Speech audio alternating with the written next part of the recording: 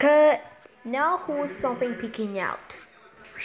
Because I'm Steve the Cartoony, and I'm gonna be the new clapboard guy.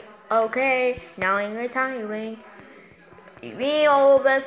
Let's leave. Me too. Looks like the places looks better now. Wow, thanks Steve the Cartoony. Anyways, next take.